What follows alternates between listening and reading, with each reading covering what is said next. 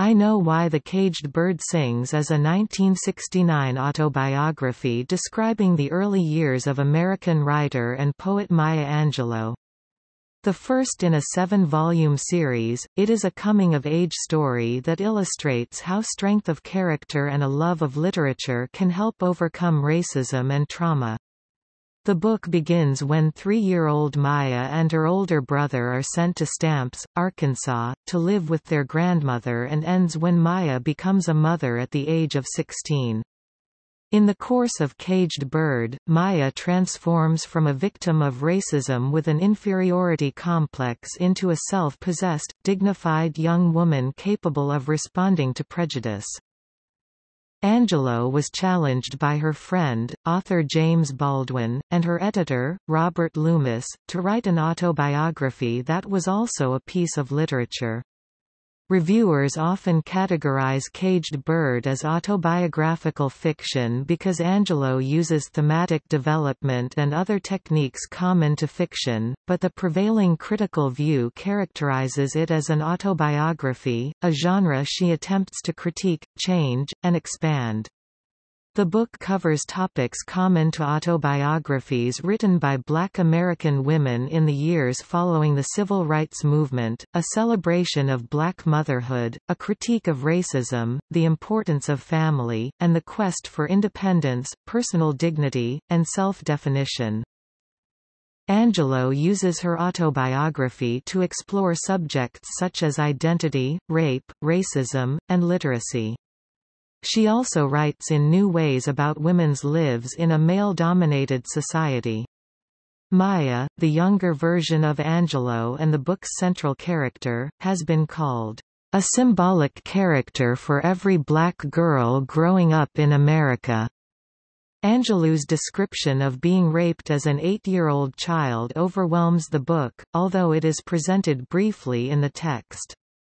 Another metaphor, that of a bird struggling to escape its cage, is a central image throughout the work, which consists of a sequence of lessons about resisting racist oppression. Angelou's treatment of racism provides a thematic unity to the book. Literacy and the power of words help young Maya cope with her bewildering world. Books become her refuge as she works through her trauma. Caged Bird was nominated for a National Book Award in 1970 and remained on the New York Times paperback bestseller list for two years.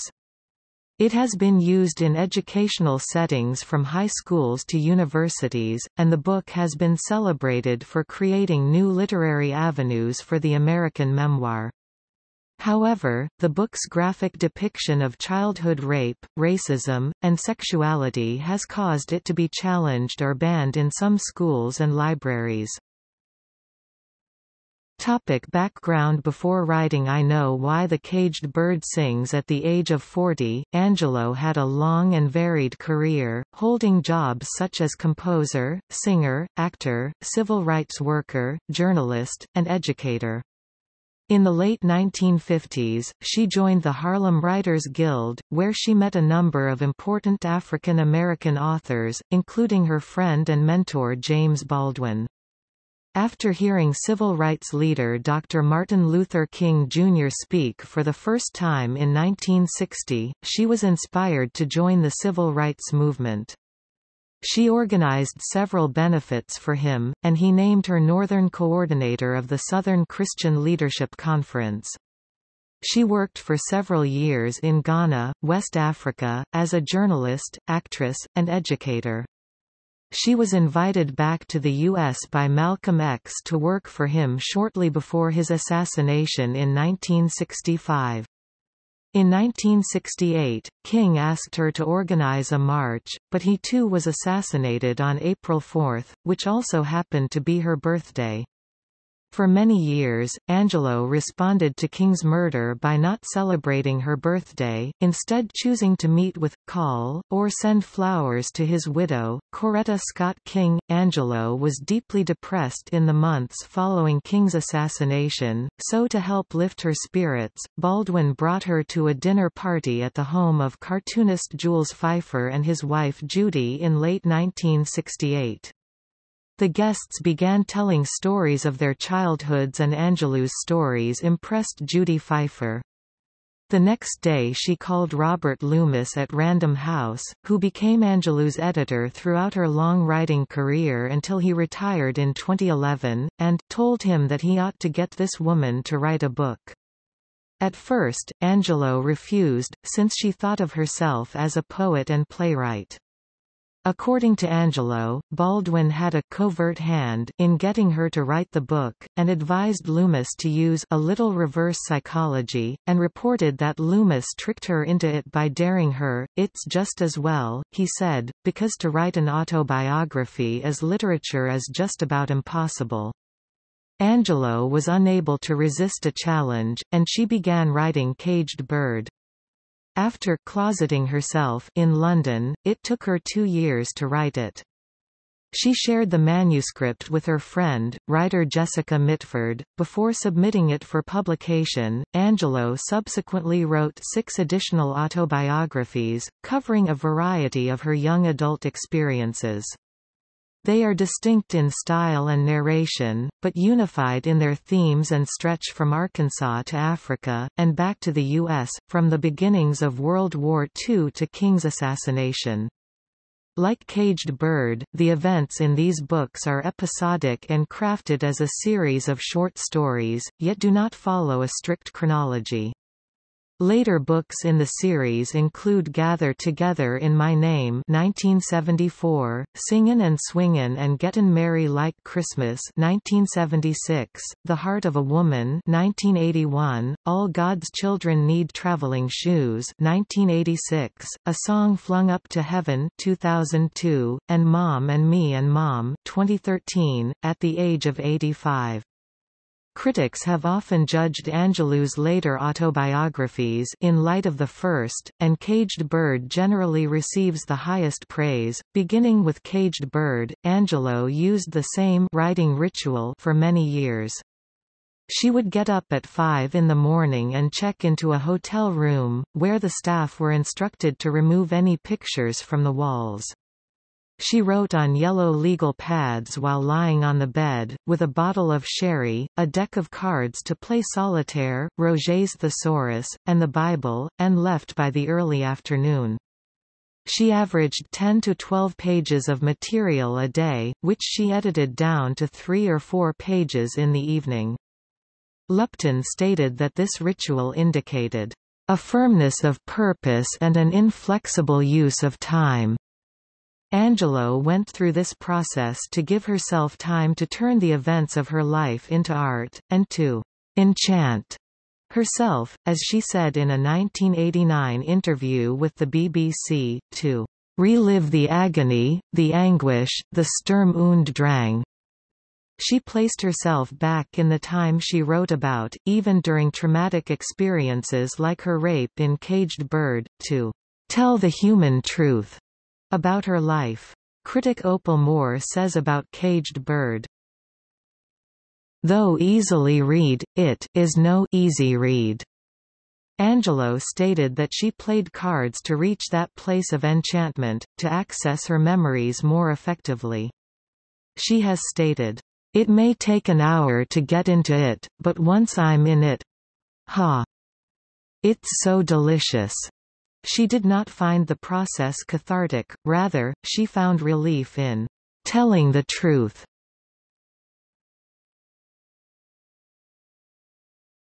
Topic. Title When selecting a title, Angelou turned to Paul Laurence Dunbar, an Afro-American poet whose works she had admired for years. Jazz vocalist and civil rights activist Abbey Lincoln suggested the title.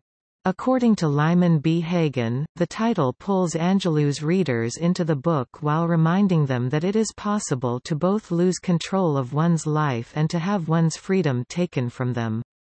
Angelou has credited Dunbar, along with Shakespeare, with forming her writing ambition. The title of the book comes from the third stanza of Dunbar's poem, Sympathy I know why the caged bird sings, ah me, when his wing is bruised and his bosom sore, when he beats his bars and would be free, it is not a carol of joy or glee, but a prayer that he sends from his heart's deep core, but a plea, that upward to heaven he flings, I know why the caged bird sings.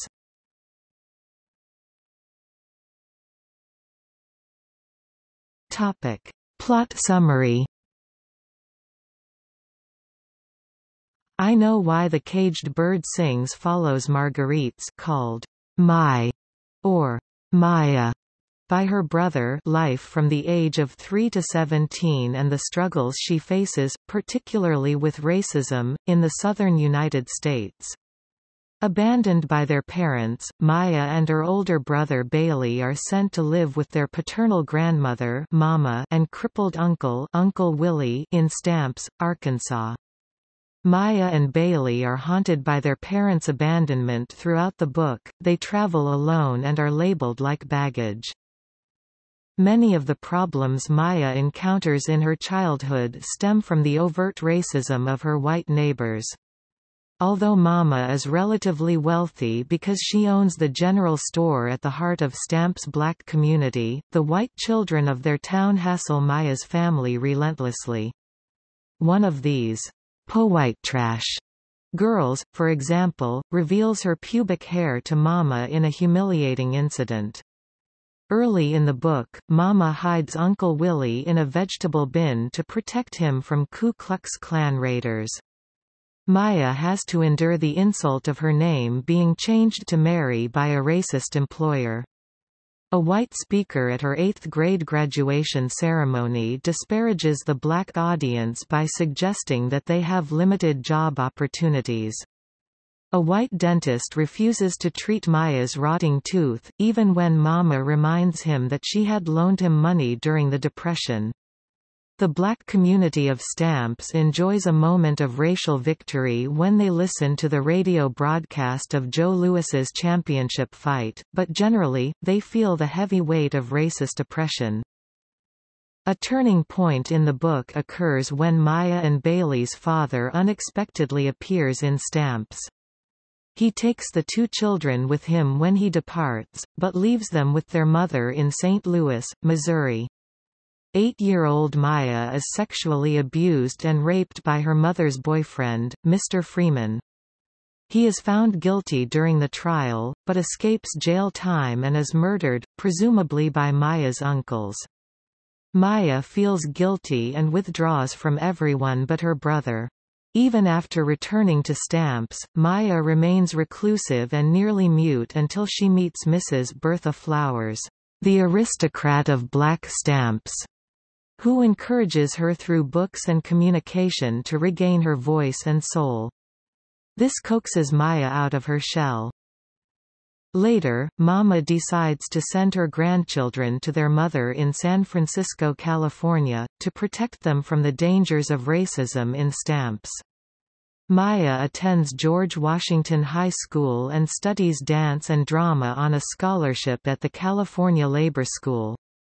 Before graduating, she becomes the first black female streetcar conductor in San Francisco.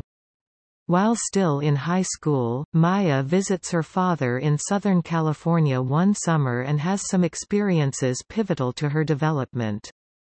She drives a car for the first time when she must transport her intoxicated father home from an excursion to Mexico. She experiences homelessness for a short time after a fight with her father's girlfriend. During Maya's final year of high school, she worries that she might be a lesbian which she confuses due to her sexual inexperience with the belief that lesbians are also hermaphrodites. She ultimately initiates sexual intercourse with a teenage boy. She becomes pregnant, which on the advice of her brother, she hides from her family until her eighth month of pregnancy in order to graduate from high school. Maya gives birth at the end of the book.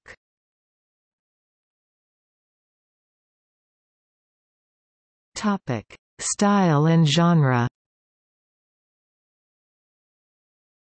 Angelou's prose works, while presenting a unique interpretation of the autobiographical form, can be placed in the long tradition of African American autobiography.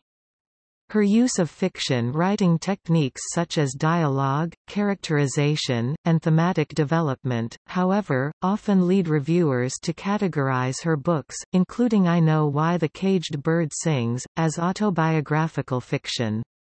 Other critics, like Lupton, insist that Angelou's books should be categorized as autobiographies because they conform to the genre's standard structure, they are written by a single author, they are chronological, and they contain elements of character, technique, and theme. In a 1983 interview with African-American literature critic Claudia Tate, Angelou calls her books autobiographies. At first, Angelou intended to return to poetry and play writing after completing Caged Bird and write no more autobiographies, but she chose the genre as her primary mode of expression because of its challenge and so that she could change it, to make it bigger, richer, finer, and more inclusive in the 20th century." In a 1989 interview, she stated, I think I am the only serious writer who has chosen the autobiographical form to carry my work, my expression. As she told journalist George Plimpton during a 1990 interview, Autobiography is awfully seductive, it's wonderful. She also told Plimpton that like the tradition begun by Frederick Douglass in slave narratives, she used the literary technique of speaking in the first person singular talking about the first person plural, always saying I meaning we. As critic Susan Gilbert states, Angelou was reporting not one person's story, but the collective's. Scholar Selwyn R. Cudjoe agrees, and sees Angelou as representative of the convention in African American autobiography as a public gesture that speaks for an entire group of people. Scholar Joanne M. Braxton sees Caged Bird as the fully developed black female autobiographical form that began to emerge in the 1940s and 1950s. The book presents themes that are common in autobiography by black American women, a celebration of black motherhood, a criticism of racism, the importance of family, and the quest for independence, personal dignity, and self-definition. Angelou introduces a unique point of view in American autobiography by revealing her life story through a narrator who is a black female from the South, at some points a child, and other points a mother.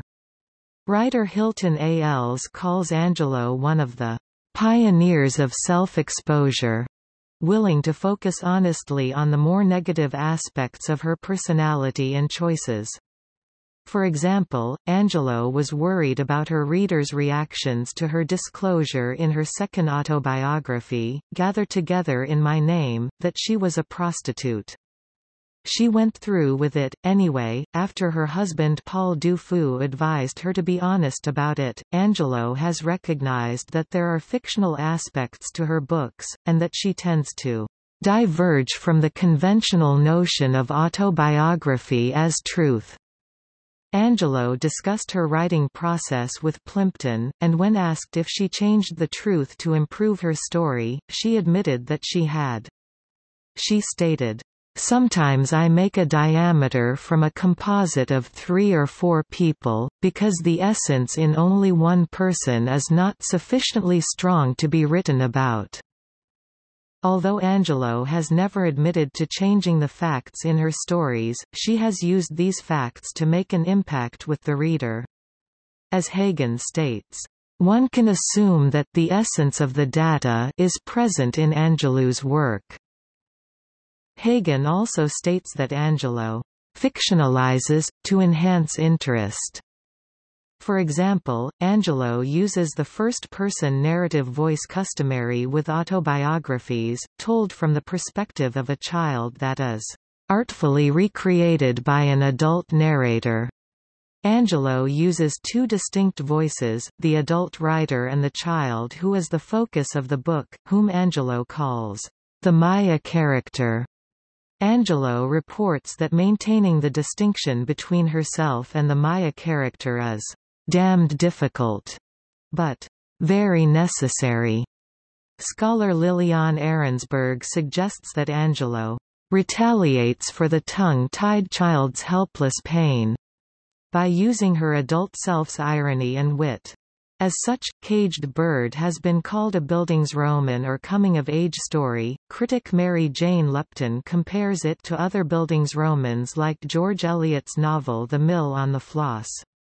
According to Lupton, the two books share the following similarities, a focus on young strong-willed heroines who have solid relationships with their brothers, an examination of the role of literature in life, and an emphasis on the importance of family and community life.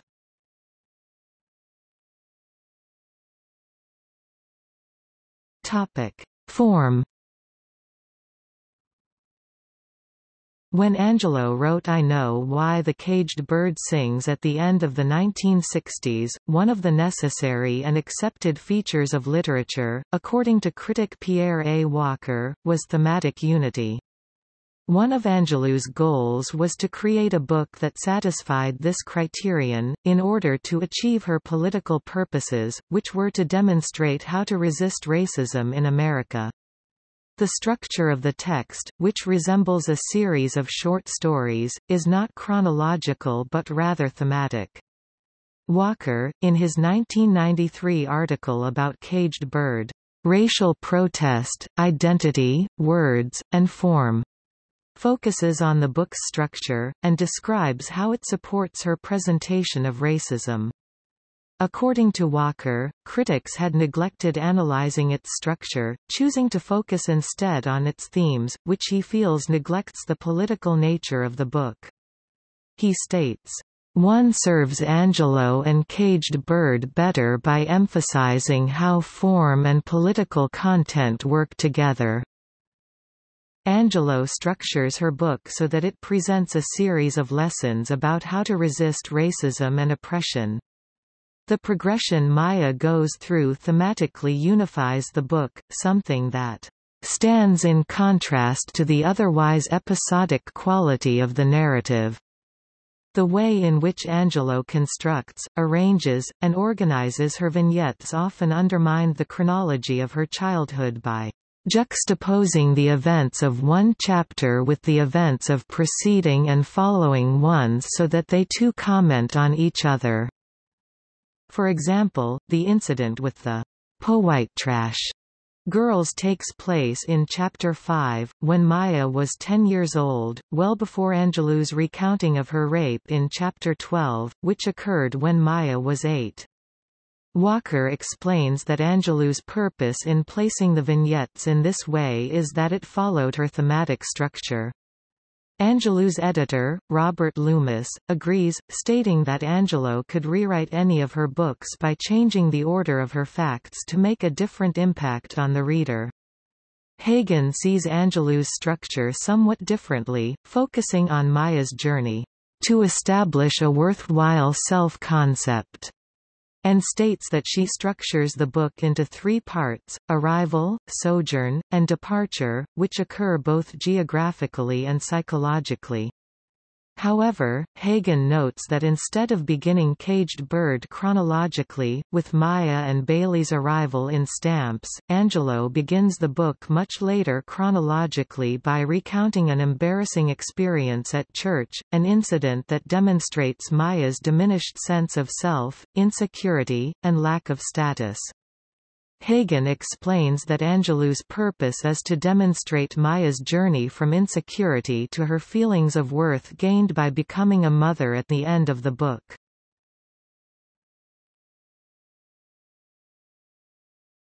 Topic: Themes.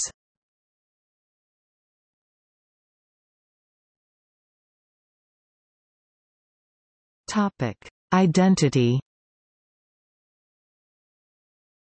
In the course of Caged Bird, Maya, who has been described as a symbolic character for every black girl growing up in America, goes from being a victim of racism with an inferiority complex to a self-aware individual who responds to racism with dignity and a strong sense of her own identity.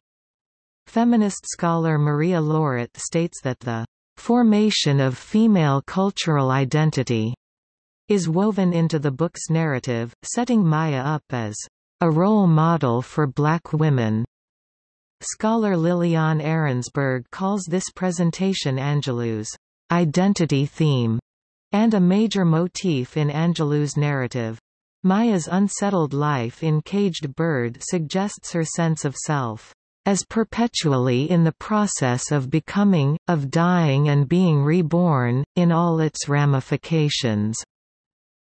African American literature scholar Dolly McPherson agrees, stating that Angelou creatively uses Christian mythology and theology to present the biblical themes of death, regeneration, and rebirth. As Lauret indicates, Angelou and other female writers in the late 1960s and early 1970s used autobiography to reimagine ways of writing about women's lives and identities in a male-dominated society. Up until this time, black women were not depicted realistically in African American fiction and autobiography, meaning that Angelou was one of the first black autobiographers to present, as Cudjoe put it, a powerful and authentic signification of African American womanhood in her quest for understanding and love rather than for bitterness and despair. Lauret sees a connection between Angelou's autobiographies, which Lauret calls fictions of subjectivity, and feminist first-person narratives, and fictional first-person narratives such as The Women's Room by Marilyn French and The Golden Notebook by Doris Lessing written during the same period. As French and Lessing do in their novels, Angelou employs the narrator as protagonist and depends upon the illusion of presence in their mode of signification. As a displaced girl, Maya's pain is worsened by an awareness of her displacement. She is the forgotten child and must come to terms with the unimaginable reality. A being unloved and unwanted, she lives in a hostile world that defines beauty in terms of whiteness and that rejects her simply because she is a black girl. Maya internalizes the rejection she has experienced, her belief in her own ugliness was absolute. McPherson believes that the concept of family, or what she calls kinship concerns, in Angelou's books must be understood in the light of the children's displacement at the beginning of Caged Bird.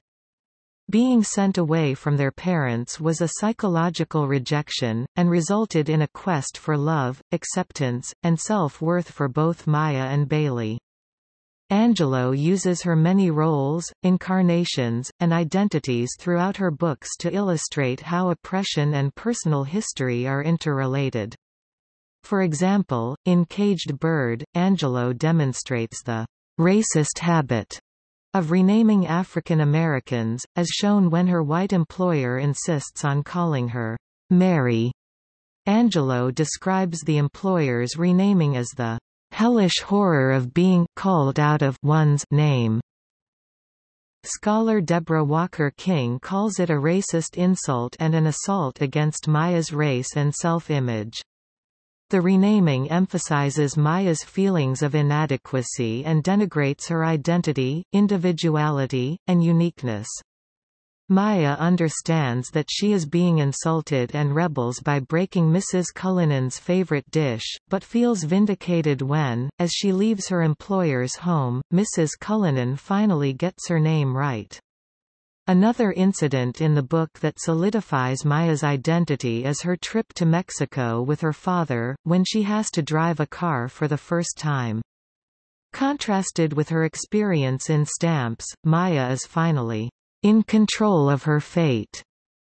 This experience is central to Maya's growth, as is the incident that immediately follows it, her short period of homelessness after arguing with her father's girlfriend. These two incidents give Maya a knowledge of self-determination and confirm her self-worth. Scholar Mary Burgher believes that female black autobiographers like Angelou have debunked the stereotypes of African American mothers as breeder s and matriarch s, and have presented them as having a creative and personally fulfilling role. Lupton believes that Angelou's plot construction and character development were influenced by the same mother-child motif as is found in the work of Harlem Renaissance poet Jessie Fauset. For the first five years of her life, Maya thinks of herself as an orphan and finds comfort in the thought that her mother is dead. Maya's feelings for and relationship with her own mother, whom she blames for her abandonment, express themselves in ambivalence and repressed violent aggression. For example, Maya and her brother destroy the first Christmas gifts sent by their mother. These strong feelings are not resolved until the end of the book, when Maya becomes a mother herself, and her mother finally becomes the nurturing presence for which Maya has longed. The two main maternal influences on Maya's life change as well, Vivian becomes a more active participant, while Mama becomes less effective as Maya, by becoming a mother herself, moves from childhood to adulthood.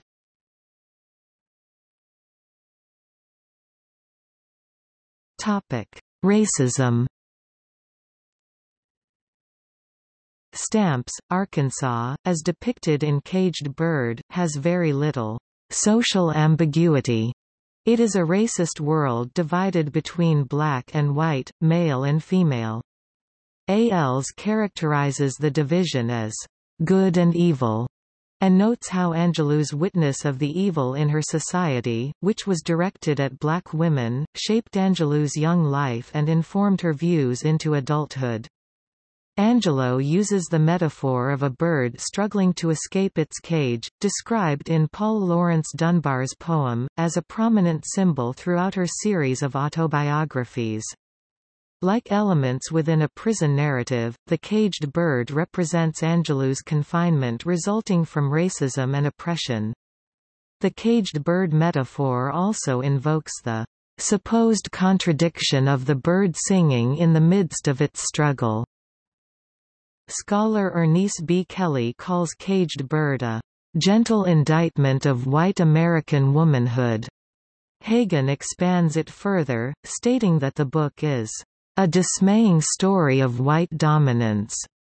Caged Bird has been called perhaps the most aesthetically satisfying autobiography written in the years immediately following the civil rights era.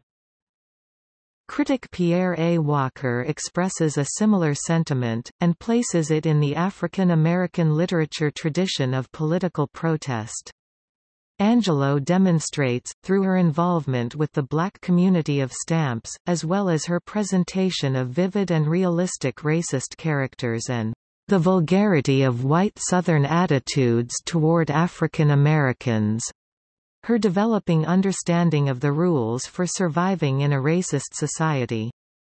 Angelou's autobiographies, beginning with Caged Bird, contain a sequence of lessons about resisting oppression. The sequence she describes leads Angelou, as the protagonist, from helpless rage and indignation to forms of subtle resistance, and finally to outright and active protest. Walker insists that Angelou's treatment of racism is what gives her autobiographies their thematic unity and underscores one of their central themes, the injustice of racism and how to fight it. For example, in Angelou's depiction of the po-white trash incident, Maya reacts with rage, indignation, humiliation, and helplessness, but Mama teaches her how they can maintain their personal dignity and pride while dealing with racism, and that it is an effective basis for actively protesting and combating racism. Walker calls Mama's way a strategy of subtle resistance, and McPherson calls it the dignified course of silent endurance. Angelou portrays Mama as a realist whose patience, courage, and silence ensured the survival and success of those who came after her. For example, Maya responds assertively when subjected to demeaning treatment by Mrs. Cullinan, her white employer, and, later on in the book, breaks the race barrier to become the first black streetcar operator in San Francisco. In addition, Angelou's description of the strong and cohesive black community of Stamps demonstrates how African Americans subvert repressive institutions to withstand racism. Arensberg insists that Angelou demonstrates how she, as a black child, evolves out of her racial hatred common in the works of many contemporary black novelists and autobiographers. At first Maya wishes that she could become white, since growing up black in white America is dangerous, later she sheds her self-loathing and embraces a strong racial identity.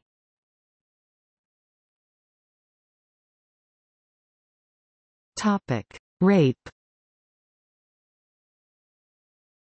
Angelou's description of being raped as an eight-year-old child overwhelms the autobiography, although it is presented briefly in the text. Scholar Mary Vermillion compares Angelou's treatment of rape to that of Harriet Jacobs in her autobiography Incidents in the Life of a Slave Girl. Jacobs and Angelou both use rape as a metaphor for the suffering of African Americans. Jacobs uses the metaphor to critique slaveholding culture, while Angelou uses it to first internalize, then challenge, 20th-century racist conceptions of the black female body namely, that the black female is physically unattractive. Rape, according to Vermillion, represents the black girl's difficulties in controlling, understanding, and respecting both her body and her words. Arensberg notes that Maya's rape is connected to the theme of death in Caged Bird, as Mr. Freeman threatens to kill Maya's brother Bailey if she tells anyone about the rape. After Maya lies during Freeman's trial, stating that the rape was the first time he touched her inappropriately, Freeman is murdered presumably by one of Maya's uncles and Maya sees her words as a bringer of death. As a result, she resolves never to speak to anyone other than Bailey. Angelou connects the violation of her body and the devaluation of her words through the depiction of her self-imposed, five-year-long silence. As Angelou later stated, I thought if I spoke, my mouth would just issue out something that would kill people randomly, so it was better not to talk. African American literature scholar Selwyn R. Cudjoe calls Angelou's depiction of the rape, a burden, of Caged Bird, a demonstration of the manner in which the black female is violated in her tender years and the unnecessary insult of Southern girlhood in her movement to adolescence.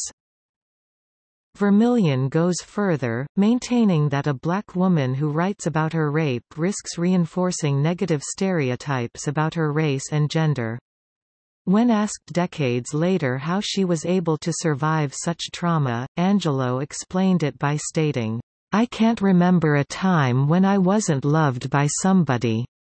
When asked by the same interviewer why she wrote about the experience, she indicated that she wanted to demonstrate the complexities of rape. She also wanted to prevent it from happening to someone else, so that anyone who had been raped might gain understanding and not blame herself for it.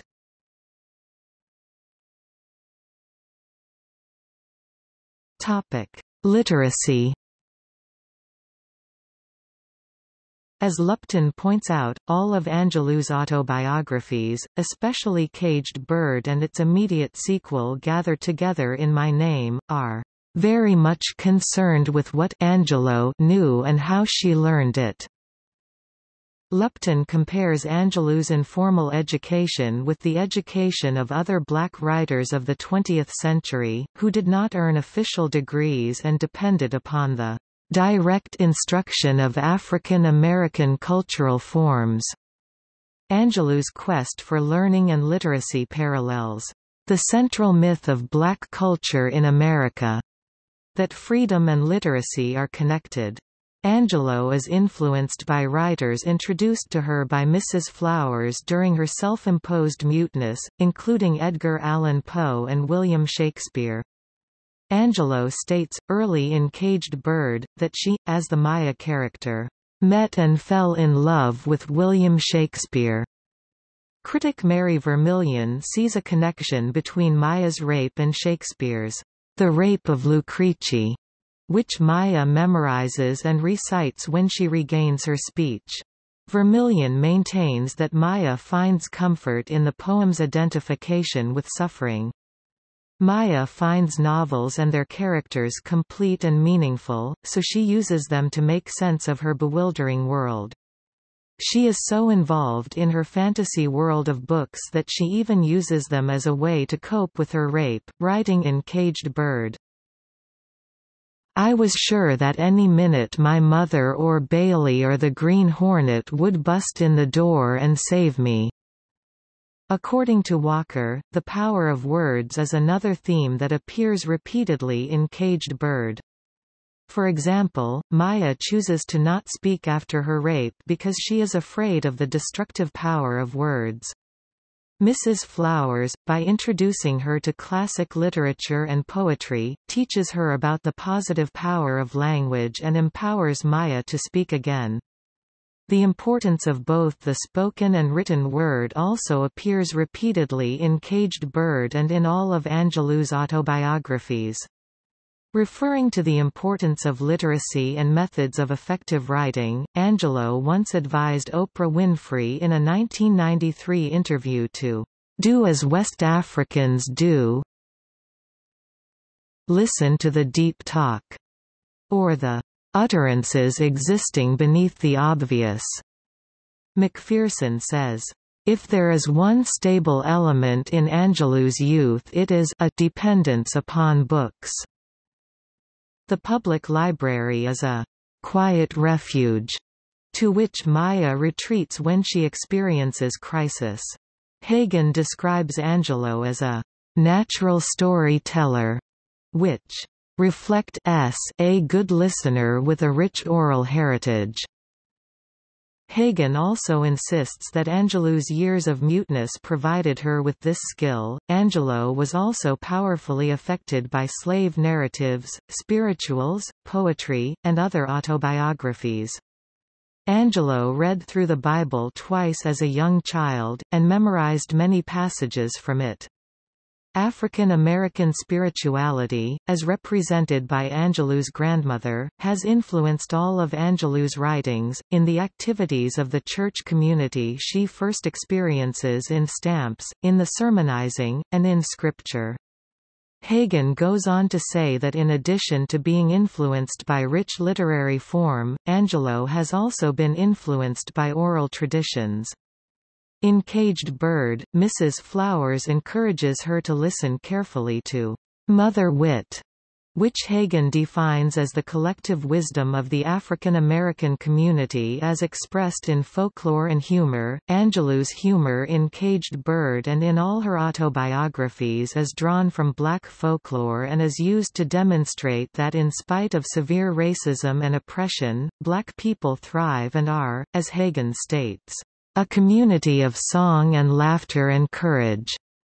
Hagen states that Angelou is able to make an indictment of institutionalized racism as she laughs at her flaws and the flaws of her community and balances stories of black endurance of oppression against white myths and misperceptions.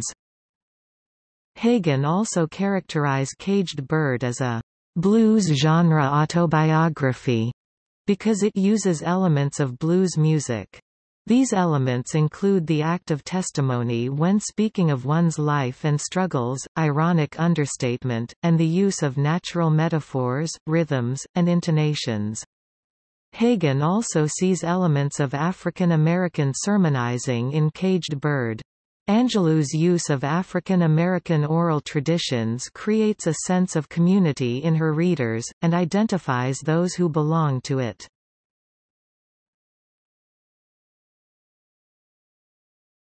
Topic. Reception and legacy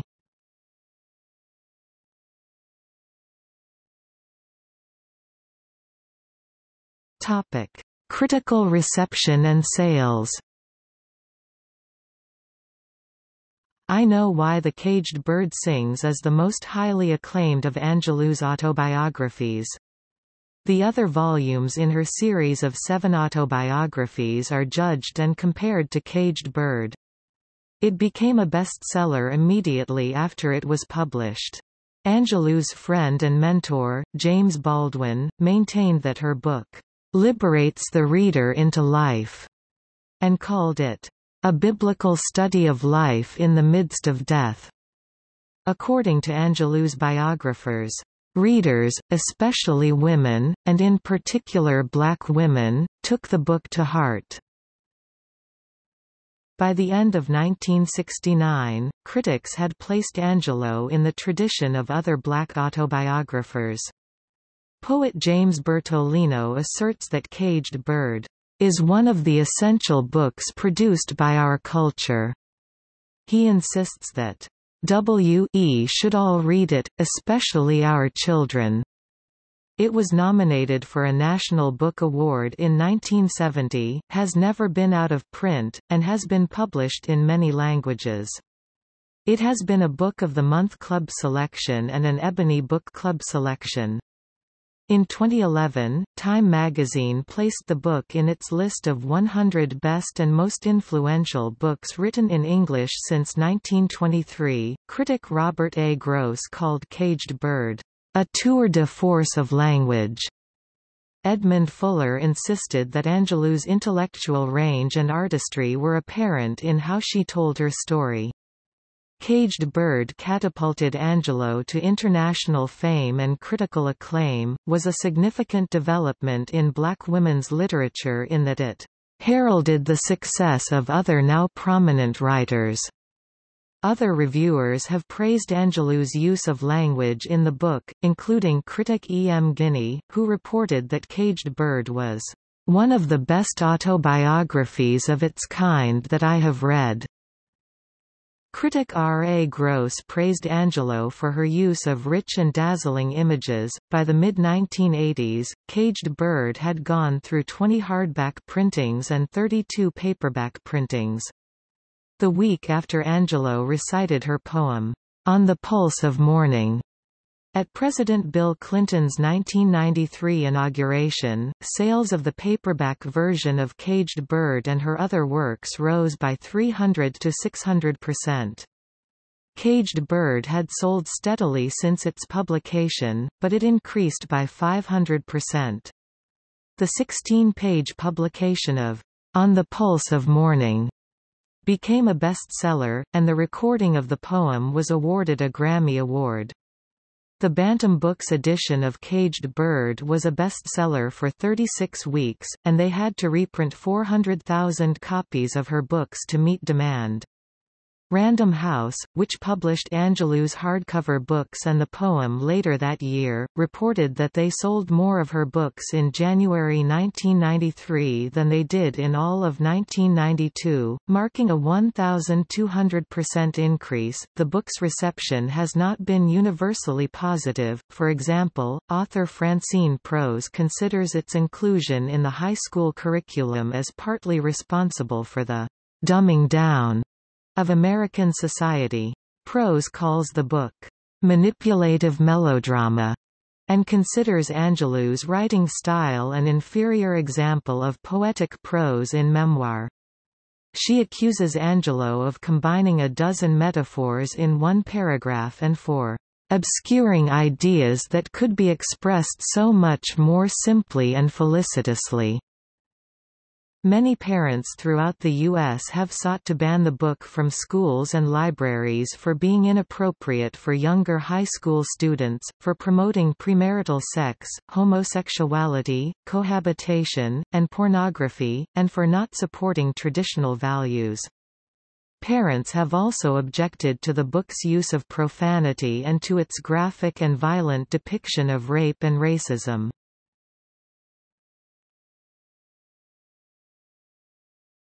Topic: Influence. When Caged Bird was published in 1969, Angelou was hailed as a new kind of memorist, one of the first African American women who was able to publicly discuss her personal life. Up to that point, black women writers were marginalized to the point that they were unable to present themselves as central characters.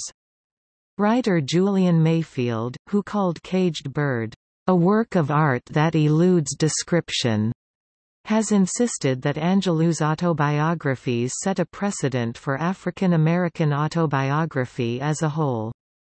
Lauret insisted that Caged Bird marked one of the first times that a black autobiographer could, as Lauret put it, write about blackness from the inside, without apology or defense. Through the writing of her autobiography, Angelou became recognized as a respected spokesperson for blacks and women. Caged Bird made her, without a doubt, America's most visible black woman autobiographer. Although Lauret considers Caged Bird an important contribution to the increase of black feminist writings in the 1970s, he attributes its success less to its originality than to its resonance in the prevailing zeitgeist of its time, at the end of the American Civil Rights Movement. Angelou's writings, more interested in self-revelation than in politics or feminism, freed many other women writers to open themselves up without shame to the eyes of the world. Angelou's autobiographies, especially the first volume, have been used in narrative and multicultural approaches to teacher education. Jocelyn A. Glazier, a professor at George Washington University, has used Caged Bird and Gather Together in My Name when training teachers to appropriately explore racism in their classrooms.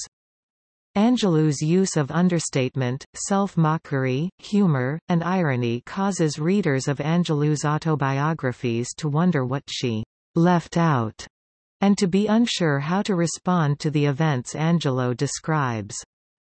These techniques force white readers to explore their feelings about race and their privileged status in society. Glazier found that although critics have focused on where Angelou fits within the genre of African American autobiography and her literary techniques, readers react to her storytelling with surprise, particularly when they enter the text with certain expectations about the genre of autobiography. Educator Daniel Challener, in his 1997 book Stories of Resilience in Childhood, analyzed the events in Caged Bird to illustrate resiliency in children. Challener states that Angelou's book provides a useful framework for exploring the obstacles many children like Maya face and how a community helps these children succeed as Angelou did. Psychologist Chris Boyatzis has used Caged Bird to supplement scientific theory and research in the instruction of child development topics such as the development of self-concept and self-esteem, ego resilience, industry versus inferiority, effects of abuse, parenting styles, sibling and friendship relations, gender issues, cognitive development, puberty, and identity formation in adolescence. He has called the book a highly effective tool for providing real-life examples of these psychological concepts.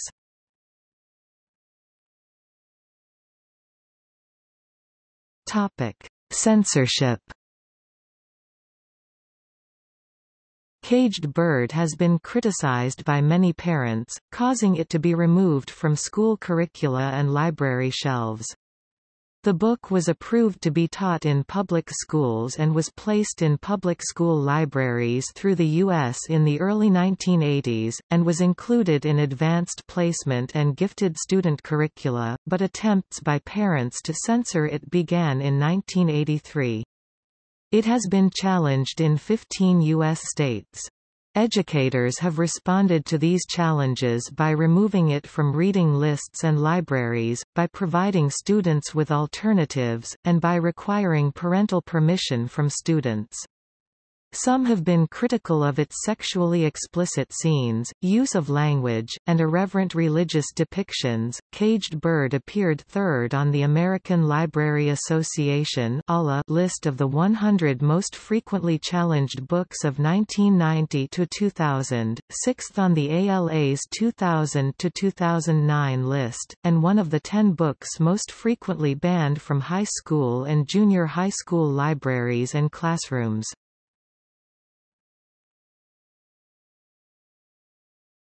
Topic: Film version.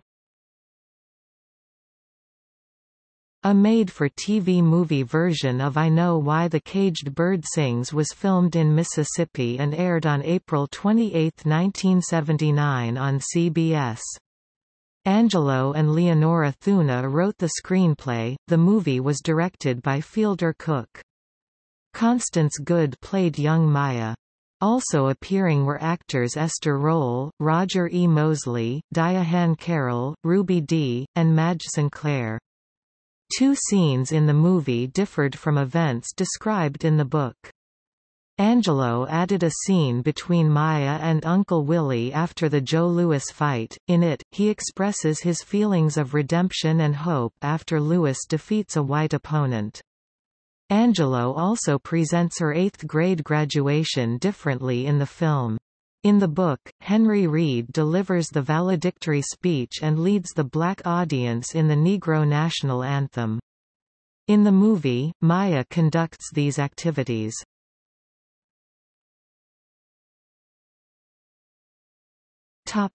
Footnotes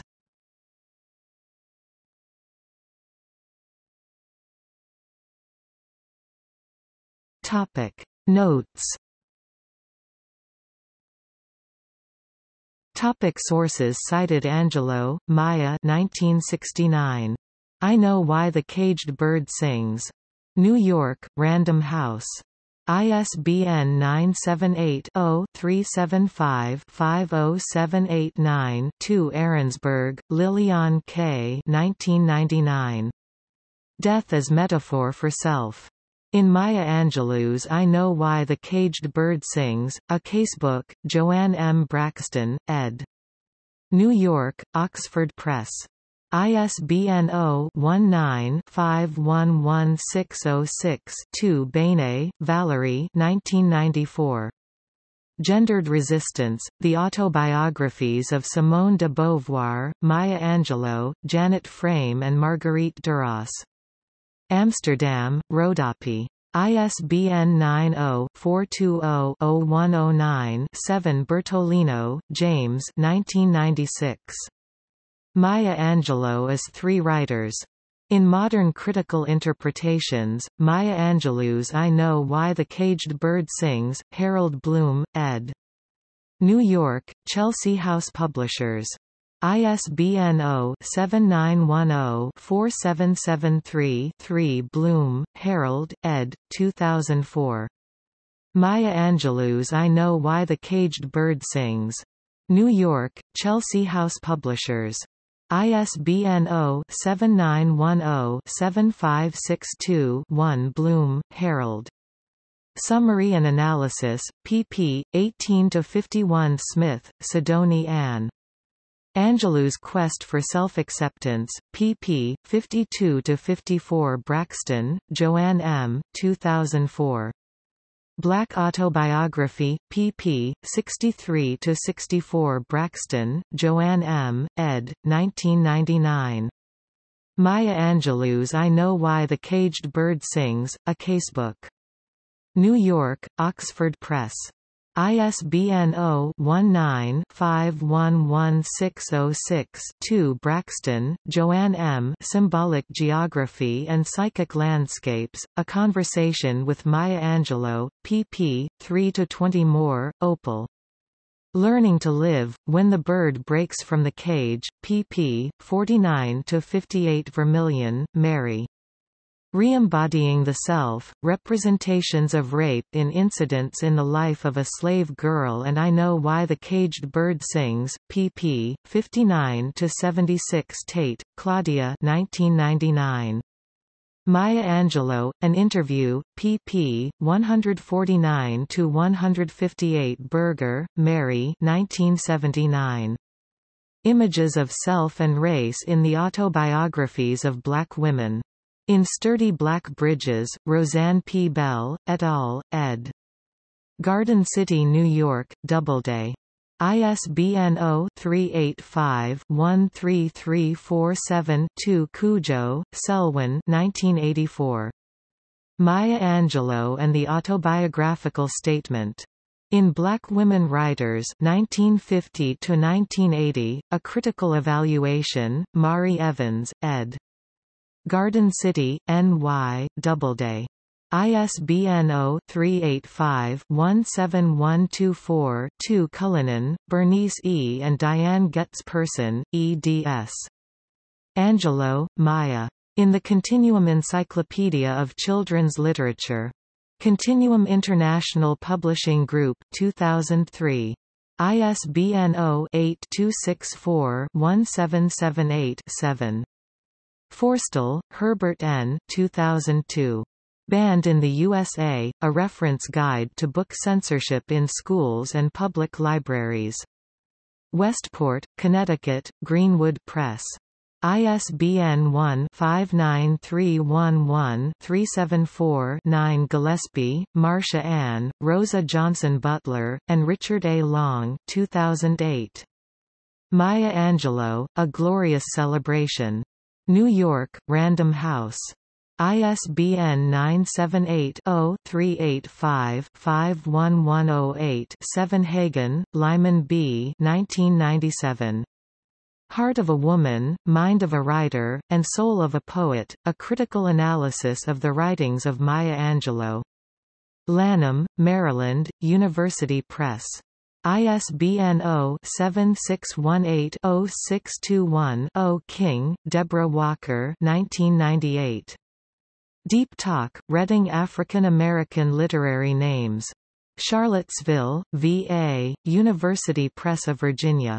ISBN 0-8139-1852-9 Lauret, Maria 1994. Liberating Literature, Feminist Fiction in America. New York, Routledge. ISBN 0-415-06515-1 Lupton, Mary Jane 1998. Maya Angelou, A Critical Companion. Westport, C.T., Greenwood Press. ISBN 0-313-30325-8 McPherson, Dolly A. 1990. Order Out of Chaos, The Autobiographical Works of Maya Angelou. New York, Peter Lang Publishing. ISBN 0-8204-1139-6 Walker, Pierre A. October 1995. Racial Protest, Identity, Words, and Form in Maya Angelou's I Know Why the Caged Bird Sings. In Bloom's Modern Critical Views, Maya Angelou. New York, Infobase Publishing, 2009. ISBN 978-1-60413-177-2.